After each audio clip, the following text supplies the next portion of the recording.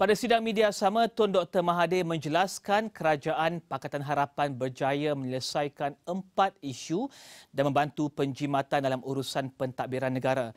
Menurut Perdana Menteri, projek laluan kereta api Pantai Timur ECRL, Felda, Tabung Haji dan Bandar Malaysia merupakan empat projek yang ditinggalkan pentadbiran terdahulu yang berjaya diselesaikan. As you can see, we have tackled four major problems which resulted from the last administration.